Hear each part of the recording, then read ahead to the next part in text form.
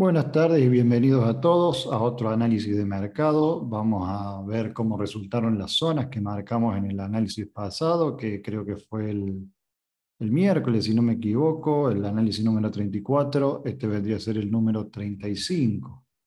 Muy bien, como ya habíamos mandado, eh, teníamos esta zona de demanda, era la más próxima, en 26.920, la tomamos al PIB, subió un 11,5%, luego teníamos una primera zona de oferta por encima de 30, penitas por encima de 30, yo personalmente en 30.019, esta eh, también realizó un buen recorrido de casi 9%, sí, 9% a la baja, Posteriormente habíamos establecido una zona de, demanda en scalping en 27.367. Esta por un pelito no nos sacó el stop loss porque lo habíamos puesto en market price, un precio de marca. Y bueno, ya está también aproximadamente un casi un 9% al alza. Muy bien, ¿qué habíamos marcado nosotros en el último análisis, eh, que fue hace dos días, o sea, fue hace muy poco? Habíamos marcado dos zonitas de oferta en lo que era toda esta estructura alcista, ¿no? Eh, eran zonas de oferta bastante endebles, pero, eh, y obviamente estaban en, metodología de lo que yo le llamo scalping, ¿no? Que es, digamos, una gestión bastante corta de riesgo. ¿Qué sucede? La primera zona la pasó como agua, o bueno, tuvo un pequeño retroceso, pero no alcanzó a cubrir en la entrada. Este stop loss saltó, que está en el backtesting semanal, está contemplado. La segunda zona que habíamos considerado era 29.535, el precio casi llega a la zona, empieza a generar un retroceso, el precio eh, hace una especie de rango durante todo este este tiempo y finalmente el precio llega a la zona analizada y me pega una bajada de 2,4%, lo cual fue bastante provechoso para recuperar sobre todo este stop loss y para eh, generar ganancias. Recuerden que un este stop loss fue de 0,3% y ya estos 2,4% eh, hay una diferencia, ¿no? Muy bien, el precio posteriormente siguió al alza, eh, no hubo mucho, la verdad que yo no veo todavía alguna razón por lo cual empezó a retroceder desde ahí. Si quieren, la vamos a buscar simplemente para, eh, a modo de estudio, ¿no? Porque hay que seguir estudiando, durante toda la vida hay que seguir estudiando. Bien, veamos dónde reaccionó. La verdad que no hay, no hay mucha información acá justo reaccionó en este, en este máximo. En lo personal, en lo que yo creo, la verdad que reaccionó en una zona que yo no hubiese podido proyectar nunca, ¿verdad? Según mi estrategia, yo no hubiese podido proyectar que justamente en esta zona iba a reaccionar. Quizás sí hubiese puesto una entrada en el 50% de esta mecha. Es probable, pero tampoco era una zona que yo consideraba eh, relativamente buena para shortear a Bitcoin. No importa, la verdad, obviamente no podemos agarrar todos, todos los movimientos, es, eh, es, es bastante improbable que vayamos a agarrar todo. Pero bueno, de las dos zonitas que dimos, eh, anduvieron bastante, anduvo bastante bien una de las dos zonas, la segunda saltó en stop loss, eh, perdón, la primera saltó en stop loss, ¿Y qué me está haciendo Bitcoin en este momento? ¿Qué es lo que le interesa a todo el mundo? Porque ya lo que pasó, pasó. Y lo que me está haciendo Bitcoin es eh, simplemente un ranguito y me está generando liquidez tanto al alza como a la baja. En lo personal, eh, lo que yo supongo que va a pasar acá va a ser una liquidación a dos puntas. Vean que estamos teniendo formación de liquidez al, al alza. Esto ya reaccionó, ya lo vamos a sacar y también estamos generando liquidez a la baja. Este es el típico triangulito que obviamente sirve para sembrar liquidez tanto al alza como a la baja. Eh, por eso en el caso de que el precio rompa este triangulito, yo espero realizar una compra que todavía no me decido bien si hacerlo con metodología scalping o hacerlo metodología swing por el tema de la volatilidad que está teniendo Bitcoin. Acá en 28, 427 aproximadamente, no es una zona muy fuerte que digamos, es una zona bastante floja. eh, simplemente porque el imbalance, que en realidad la suma de liquidez que estaríamos operando en esa zona sería la liquidez de la ruptura de esta línea de tendencia sumado con este pequeño imbalance que todavía está sin balancear. Muy bien, esa sería la primera zona y la zona más arriesgada y bueno, a la baja seguimos teniendo zonas eh, durante toda eh, esta subida eh, de pequeños, de micro imbalances, ¿verdad? Pero ya, si no me reacciona esta zona, yo ya esperaría que me genere una nueva estructura que me dé información más clara. Muy bien, esta sería mi primera zona de compra en, eh, quizás con metodología de scalping, ya, ya lo vamos a determinar. A la baja tenemos un poco más de liquidez, tenemos una línea de tendencia acá, tenemos, como le estaba mencionando, estas zonitas de acá abajo que eh, la verdad que me están complicando esta primera compra. Pero por el momento vamos a dejar esa idea. Y posteriormente podríamos llegar a tener otra zonita de compra acá en el extremo eh, que me generó la primera, el primer microimbalance. ¿Por qué? Porque prácticamente esta mechita me está balanceando prácticamente toda esta zona.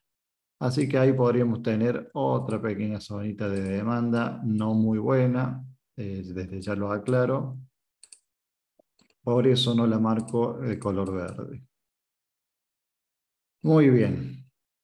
Obviamente, si nos quisiéramos posicionar ya en Bitcoin, eh, con la metodología de scalping, yo no le recomiendo hacerlo los viernes con el tema de cierre de mercado, con la volatilidad que puede haber. Pero tenemos zonas para posicionarnos así de medio apresurado, tenemos algunas zonitas que yo en mi caso no las voy a operar porque simplemente yo ya tengo posiciones en Bitcoin y no me interesa correr más riesgo eh, que el debido, de verdad. Cada uno corre el riesgo que le parezca necesario, pero yo en mi caso no necesito más posiciones en compra. Actualmente yo lo que necesito es más posiciones en venta en Bitcoin. Eh, o bueno, eso es lo que a mí me gustaría tener en este momento, más posiciones en venta.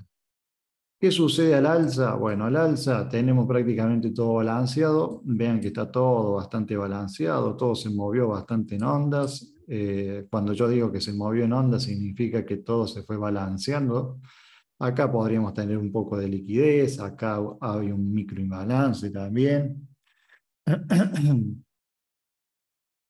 Eh, ¿Qué más tenemos para atrás? No hay mucho más para atrás. Obviamente Acá hay una zona de oferta también entre estas zonas, pero esto que se interpreta como, digamos, una línea de tendencia descendente, el mercado por lo general suele hacer estos. las masas suelen generar, digamos, un doble techo acá. Esto me está generando liquidez al alza, que me habilitaría una zona de oferta en 30.184. Hay un problema con esta zona que es eh, que se ve en 15 minutos el imbalance. Acá lo pueden ver, el imbalance lo vamos a marcar, pero eh, el stop loss de un scalping no me cubriría la zona, ¿verdad? Porque a mí me gustaría que me llegue hasta por lo menos por encima de esta mecha. Por lo cual, esta zona se podría operar, pero con un, eh, metodología swing, digamos. El problema es bajar, digamos, o la idea sería bajar un poco el capital o el apalancamiento, porque obviamente vamos a afrontar eh, un stop loss de un 1%. Ya no es lo mismo que un scalping, que es un stop loss de 0,3% según nuestra metodología, ¿verdad? Por eso esta de 30 a 184 o 30 a 200 se podría afrontar con un stop loss de 1,9% en el caso de que ustedes necesiten generar una zona de oferta. Obviamente que al alza tenemos, seguimos teniendo eh, zonas de oferta. Eh, no me interesa ya marcar zonas de oferta en esta estructura. Eh, ya si quisiera buscar oferta, buscaría en otra estructura mayor en otra temporalidad, por ejemplo. Nos vamos a 31, ¿cuánto llegó? 31, 31.50 aproximadamente. que sería la parte alta de lo que es el bloque de orden semanal. Vean que el bloque de orden semanal, que es el que nos generó el retroceso de, que, hemos visto, es este bloque de orden semanal, que obviamente está balanceado por esta mechita.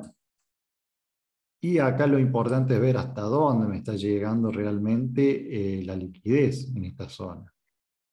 Seguimos investigando y podemos ver zonas al alza que se podrían considerar. Si quieren las investigamos y las vamos marcando por las dudas. No, no sabemos si este fin de semana el, el Bitcoin se va a levantar con, con ganas de subir hasta los 32. Vean, esta era la zona que me generó a mí mi zona de oferta en los 31. Este era mi bloque de orden con mi último imbalance que a mí me, eh, me dio a entender de que el precio iba a llegar hasta 31. Pero al alza de toda esta zona no vemos absolutamente nada eh, por el momento, ¿verdad? Vean que este máximo me balancea prácticamente toda esta zona, este máximo me balancea prácticamente toda esta zona. Quizás acá podríamos llegar a tener algunos microimbalances eh, y una zona de venta prácticamente, la verdad, bastante endeble, porque tendríamos este sería mi bloque de orden, este sería mi balance, pero ven que la siguiente onda me balanceó prácticamente hasta el 50% del bloque de orden en 15 minutos. O sea, no hay mucho, mucha información clara.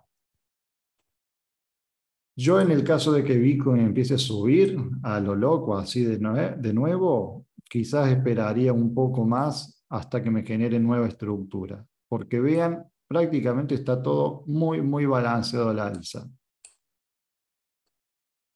Vean, está todo muy balanceado al alza. Y bueno, si nos queremos ir muy atrás, ya tenemos nuestra siguiente zona de oferta.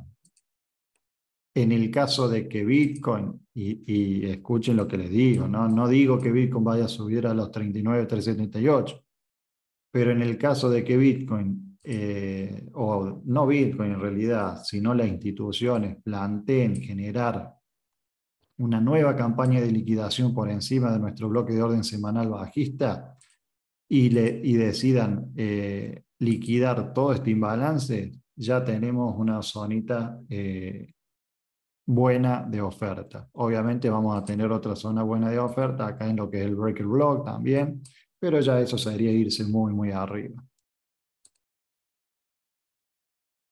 Muy bien. Yo creo que ya me extendí bastante con Bitcoin. Eh, anduvo relativamente bien Bitcoin. Eh, tuvimos un stop loss eh, que fue relativamente corto, ¿no? de 0,3%.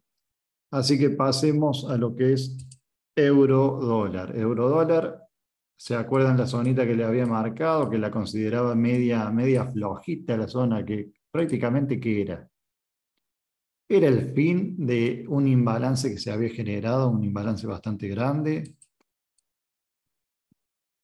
Acá se los marco. Obviamente se los marco general porque se los debería marcar en partes. Acá en esta temporalidad se ven eh, las partes del imbalance. Bien.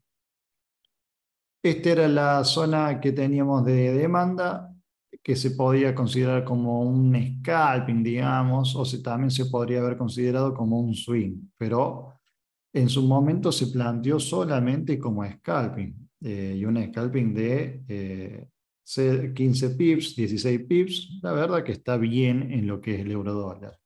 Y si lo quisieron considerar como un swing, eh, anduvo también, anduvo perfecto, ya 62, 62 pips al alza, un poquito más en realidad. Fueron 64 pips aproximadamente al alza, un 0,59%, bastante, bastante bien la zona que habíamos designado el video pasado. Y bueno, y al parecer hay, gente que no le gusta ver estas líneas en, en la gráfica, pero es lo que tenemos. Lo que sabemos nosotros es que cuando llega el precio a una línea, si es roja, es venta y ven el resultado. Todas estas zonas, todas estas zonas, no les estoy exagerando, todas estas zonas se tomaron. Y esta es la única estrategia que puede generar estas compras y estas ventas. Vean todas estas zonas y hubo algunas que fallaron entre medio, muy, muy pocas, muy, muy pocas, porque están todas eh, en el balance, están todas en el balance. Si sale mal una zona, se sube al balance. Yo llevaba un invicto en el euro dólar desde octubre del año pasado y me saltaron eh, uno o dos stop loss ya este año, pero no es nada a comparación de todas las zonas que hemos tomado. Así que, bueno, eh, yo sé que haters van a existir siempre. Quizás justo hubo una zona que esa persona tomó, eh, e-, esa persona que estábamos hablando recién tomó, y bueno, quizás le salió justamente esa mal, pero ustedes vean que yo hago el análisis proyectando futuro y las ganancias están siendo muy, muy superiores a las pérdidas. Eh, aquellas personas que no pueden afrontar ni siquiera un solo stop loss no deberían estar en el trading.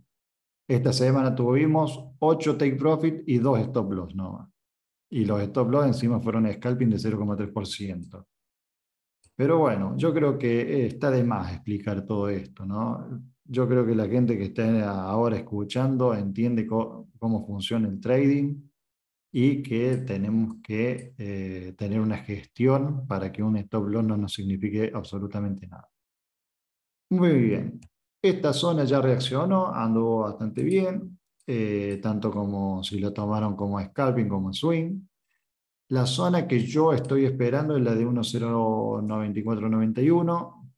Es una zona que me interesa. Acá podemos observar que esta zona me rompía esta línea de tendencia Vean cómo los pobres chartistas acá, como el que estaba haciendo hate recién, eh, obviamente se posicionó la baja porque rompió la línea a la baja y luego eh, se le generó un, beer trap y salió al alza nuevamente por dentro de la estructura.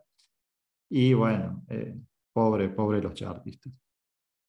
¿Qué sigue en el eurodólar? En lo personal, como les dije, esta es mi zona de demanda que yo espero y hay dos zonitas. Bueno, acá tenemos esta próxima y estas otras dos por debajo. Hay que marcarlas a las zonas y vemos a dónde llega primero. Yo no voy a adivinar si desde acá el precio va a ir a mi zona primero de oferta o si va a ir a mi zona de demanda primero.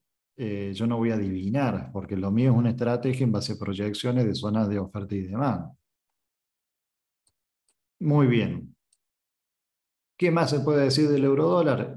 Y la verdad que se puede decir un poco más. Tenemos una pequeña zona de oferta acá arriba. Vamos a ver, vamos a ver si la, la detectamos bien en temporalidades menores. Vamos a borrar un poco todo esto. Esto ya pasó.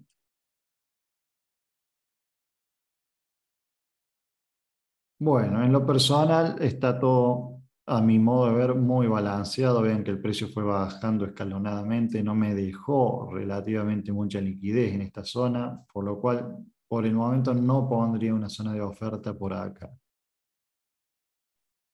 Quizás hay una pequeñísima acá, pero no, no, no me arriesgaría. La próxima zona que esperaría, 1.1149.2. Si vemos que el precio ni se mueve, veremos de buscar otra zona. Hay algo que hay que tener en cuenta, que ya esta línea de tendencia se rompió en esa zona de alza, por lo cual no la consideramos más.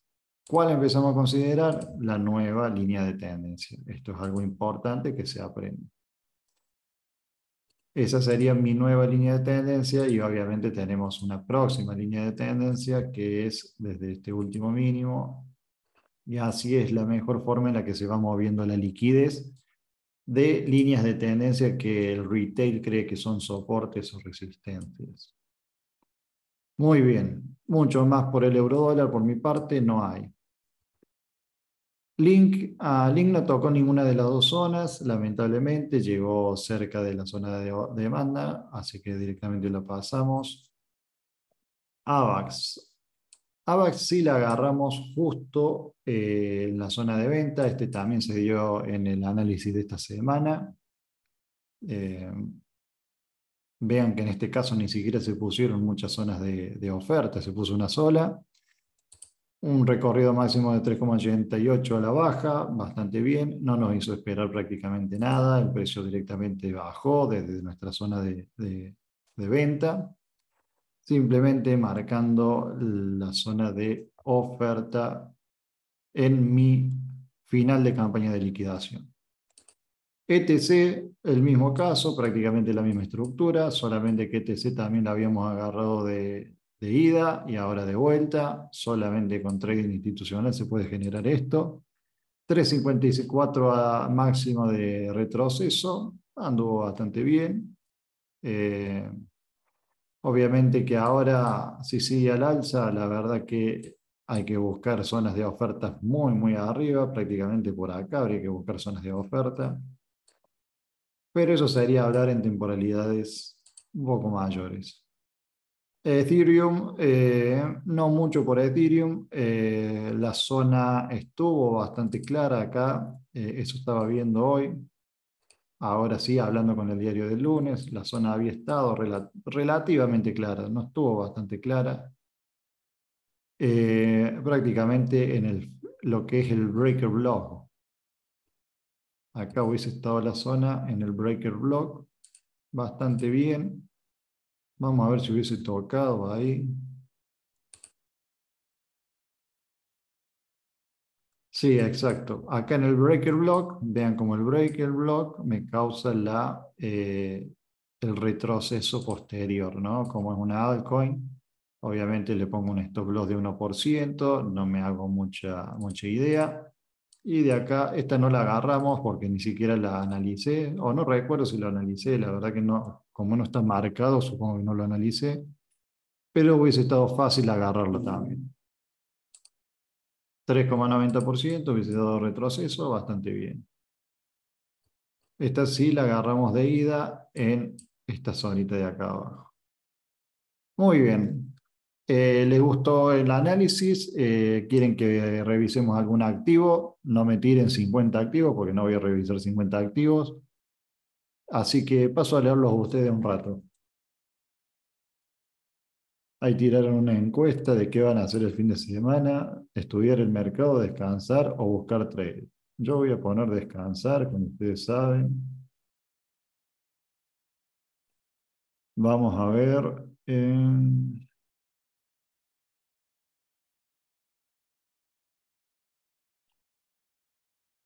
Hola, buenas tardes. Matic. Matic. Ah, ayer lo estuvimos viendo Matic con los chicos de El Camino del Trader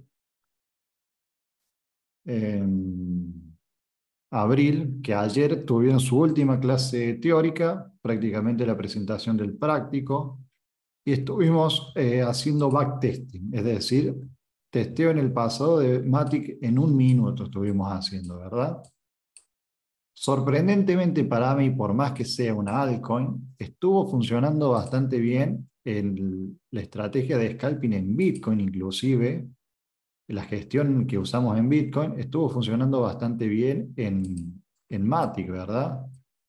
Vamos a seguir haciendo un trabajito de backtesting porque no vamos a alargarnos a la pileta con, con la estrategia de, eh, con los mismos porcentajes que utilizamos en Bitcoin en un minuto eh, no los vamos a aplicar directamente en Matic a un minuto, pero por el momento está funcionando bien. Eso estuvimos viendo con los chicos. Obviamente ellos tendrán que, en el caso de querer hacer un, una estrategia de scalping en Matic, y van a tener que tomarse el trabajito de backtestear dicha estrategia. Muy bien. Vámonos a una macroestructura en Matic. Ya tenemos zonas marcadas. Eh, esta zona ya la agarramos al alza. Eh, bastante vieja la zona. Las próximas zonas están ya marcadas acá abajo. 88, 81 y 82, 16, por lo que veo. Pero eh, en este caso ya tocamos una primera zona de demanda. Vamos a ver en temporalidades menores que podríamos agarrar, ¿verdad? Borramos esto directamente porque ya pasó, solamente fue a modo de estudio eso. Muy bien, ya de por sí en esta temporalidad lo que puedo ver es que me está generando liquidez a la baja, tenemos un doble piso, es decir, zonas de demanda por encima de esta línea, la verdad que ya me da mucha desconfianza. Podríamos irnos entonces a lo que es esta parte de, esta, de este conjunto de velas, de este impulso alcista, a ver si tenemos liquidez que me pueda generar un impulso al alza una vez que se haya consumido la liquidez de esa, de esa línea de tendencia. Dentro de todo, por lo que se ve, está todo bastante balanceado. Vean cómo el precio llega hasta las próximas zonas, me balancea prácticamente todo, por lo cual una posible zona de demanda, no, la verdad que tampoco me gusta porque sería operar esto solo. No, no me gusta nada acá. No, está bastante, bastante balanceado esa zona. Vamos a seguir revisando. Recuerden que esto es televisión en vivo. Acá eh, hay que tener un poco de paciencia, ¿verdad? Bueno, esta llegó a 9409. Vamos a ver si tenemos algo por debajo de esa zona.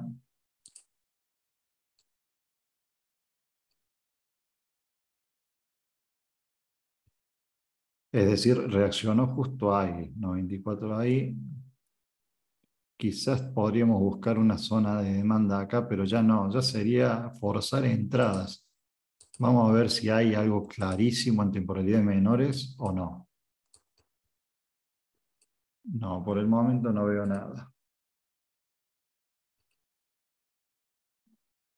No, Matic la verdad que no me convence ninguna zona eh, hasta, hasta esta que está bastante lejos. Así que no, no me convence ninguna zona de demanda hasta ahí. Obviamente en un minuto podemos encontrar, eh, pero yo no opero altcoins en un minuto por el tema de la volatilidad que tienen. Yo sí refino altcoins en un minuto. Mucha información de Matic no tengo para darles por hoy. Eh, quizás ahí tendríamos una zonita de oferta. Esta la vamos a estudiar, solamente la vamos a estudiar con la metodología de scalping que estamos eh, desarrollando, ¿no? Esto está en desarrollo, no crean que ya se puede meter órdenes en esta zona. Hay que tomarse el tiempito de desarrollar las estrategias ah, con la gran herramienta que tenemos de backtesting antes de aplicarlas con dinero real. Yo ya desarrollé mi estrategia de scalping en Bitcoin, desarrollé mi estrategia de swing trading en Bitcoin, en altcoins, en mi estrategia de swing trading en, en Forex, en commodities, todo, todo con un trabajo bastante exhaustivo en cada parte. Estas serían mis zonas de oferta para considerar eh, con la nueva metodología de scalping que vamos a, vamos a estar desarrollando. Sería interesante desarrollar una nueva estrategia en Matic, ¿verdad? ¿Les parece? Vamos a irla backtesteando. Nos podemos tomar este trabajito juntos y lo vamos, la vamos testeando. Esta primera zona me parece ya no la consideraría porque vean que la vamos a dejar porque quizás un pequeño imbalance me queda, pero la vamos a, estudiar a todas estas zonas. Vamos a ver de demanda si tengo algo inmediato en Matic y la verdad que no, no hay no hay absolutamente nada inmediato. Quizás podríamos mencionar una pequeña zona ahí, pero es prácticamente la nada misma. Recuerden que todavía no está testeada esta estrategia eh, hasta el hartazgo como las demás estrategias que, yo utilizo, por lo cual estas zonas son de, eh, estas zonas inmediatas son solamente a modo de testeo. Vamos a ver qué más, qué más. Bueno, una zona relativamente buena de oferta, sí, podríamos considerar acá arriba. Acá arriba ya empezamos a tener imbalances bastante más marcados, en, en, un minuto por ahí no tanto, vamos a subir. Esto es algo que suelo hacer a veces, en vez de bajar, subo de temporalidad para buscar mis zonas. Acá podríamos considerar una primera zona de oferta. Vamos a ver qué tal me queda el stop loss. Está bastante balanceado todo eso. Sí, me quedaría relativamente bien. Ahí me quedaría bien. Me parece ahí. Lo vamos a poner por el momento. Vamos a ver al alza, seguimos teniendo algunas zonitas. Y bueno, ya tenemos zonas mucho más interesantes de oferta, por ejemplo ahí, y ahí tendríamos zonitas. Y lamento que decirle al, al, suscriptor que no le gusta que marque tantas zonas, que esto es lo que hay en esta estrategia y bueno, llegan las zonas y reaccionan. Eh, por ahí algunos suscriptores quieren saber desde dónde está, si el precio va a subir y va a bajar y lamento decirle que nunca lo van a saber. Uno tiene que tener una estrategia y operar una estrategia. Muy bien, entonces para más o menos tener un cierre de Matic tendríamos esta configuración. Vamos a ver eh, a modo testeo cómo salen las zonitas estas de prueba. Recuerden que por eso están de otro color, eh, por lo menos en altcoins. Lo vamos a mostrar de prueba. Bien, vamos a seguir leyendo. Hace mucho dejé de creer en stop loss súper pequeños, me piro. La verdad que no sé cuál es el stop loss súper pequeño. A mí incluso me parecen un poco grandes los stop loss que utilizo yo, porque mira, fíjate que son hasta innecesarios que sean tan grandes, pero bueno, para mí son medios grandes. Inclusive en Forex para mí es grande, el 0,3%, y en Bitcoin me parece grande un 1%, o en Altcoin me parece grande un 1%. Pero bueno, eso es lo que me dio mi, mi testeo, que con, con esos stop loss me da margen a mí a tener movilidad. Bien. A ver, sigo leyendo.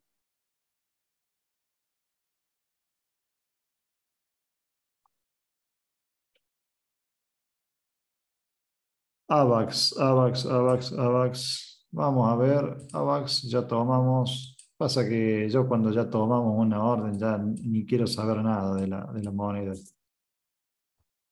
¿Qué podríamos mencionar en AVAX? Y tenemos un mamarracho en AVAX, vean, es, todo esto lo, podría, lo debería pasar como agua AVAX. Veo, observo una pequeña zonita ahí con liquidez, sí. Ahí observo una pequeña zona con liquidez. Acá tenemos, pero como les digo, ya sería operar cuestiones de un minuto eh, con un retroceso, digamos, eh, eh, que sea representativo en un minuto. No estamos operando un imbalance de una hora. Bien, ahí habría unas zonitas y acá podríamos mencionar otra más. Bien, esta zona obviamente va en rojo porque el imbalance se puede observar en temporalidades mayores y este también. Bien, esto es lo que tendría en AVAX hasta el momento.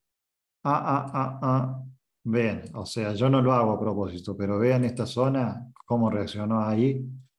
Eh, bueno, este ya reaccionó, no se puede tomar. Perfecto, así me quedaría. Eh, y vamos a ver a la baja dónde nos podríamos posicionar si estuviésemos apurados, si tuviésemos alguna información de que AVAX se va a ir a la luna y si estuviésemos muy apurados por posicionarnos. Y prácticamente hay una zonita muy débil acá, tenemos otra zonita muy débil acá y no mucho más. Vamos a marcarla solamente esta porque es la única que podría tener algún tipo de consideración. Pero como les, como les estoy diciendo, yo no opero altcoin solamente en un minuto, viendo solamente en un minuto. Eh, con Bitcoin sí puede hacer eso porque tiene una gran capitalización a comparación de estas monedas.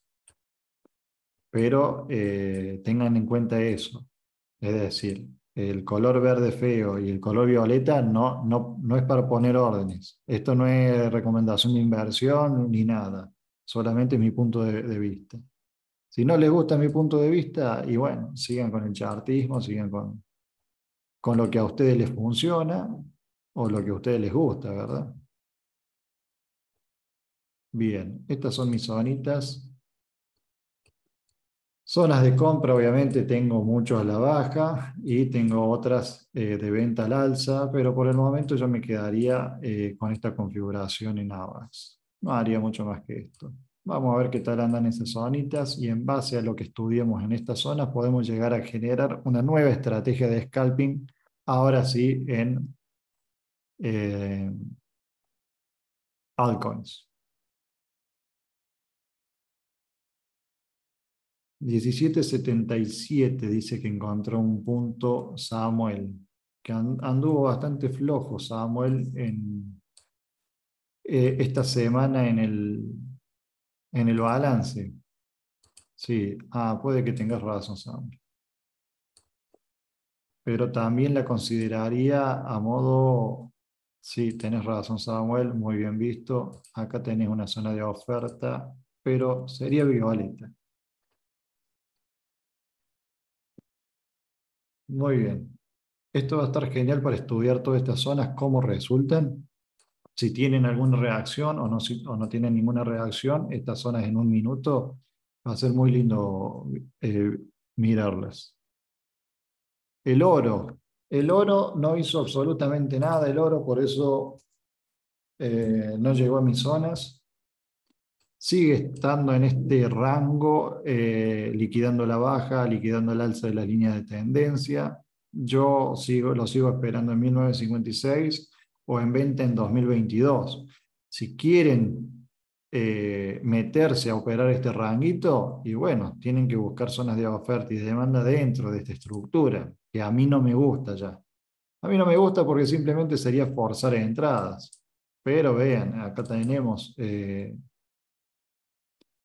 un imbalance, el problema acá que tenemos un doble piso, eh, quizás acá habría una zona de, demanda, pero la, verdad que no las quiero marcar. Eh, ahí tendríamos una zona de demanda, pero no las voy a marcar porque no las voy a ni siquiera testear. Yo el oro lo opero bajando desde una hora a 15 minutos y después refino en un minuto porque la experiencia me ha demostrado que querer operar el oro solamente en un minuto no me trae tan buenos resultados como me gustaría.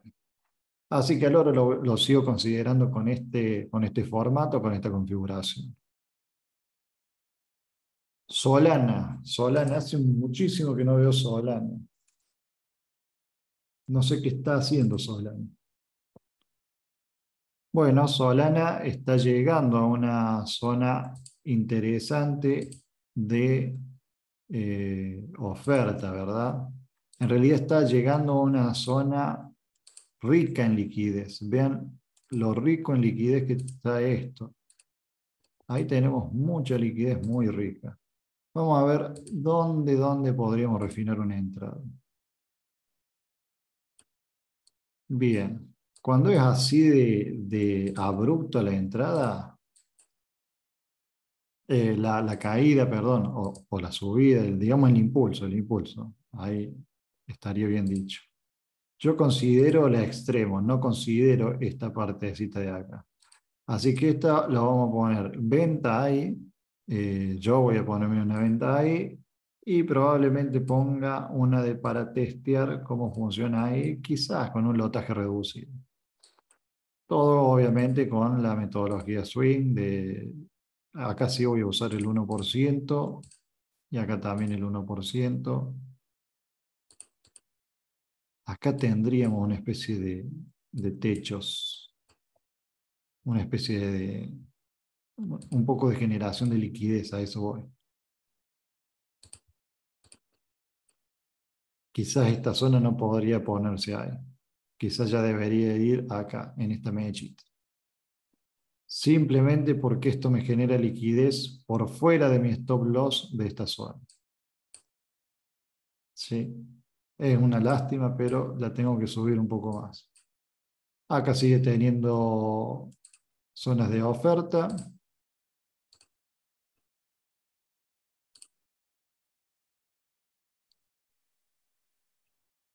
Sí, es una lástima esto, pero este doble techo no, no me gusta absolutamente para nada, me genera liquidez por fuera de mi stop loss. Ahí mucha gente tiene que perder, ese, es el, concepto, digamos. Vamos a ver cómo se da esto. Zona de demanda, y ya sería arriesgarse mucho, y a temporalidades muy baja, ¿verdad? Y ahí tenemos zonas de demanda, pero ya no, es mucho riesgo, ni siquiera las voy a colocar, pero ahí tenemos zonas de demanda, zonas de demanda también. Zonas de demanda, digamos, acá. Yo si tuviese que, que entrar en esta moneda, yo esperaría un buen retroceso de todo lo que está haciendo. Muy bien.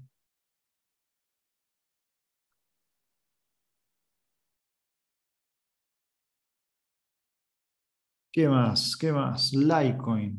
Litecoin ya la habíamos analizado, Litecoin me parece.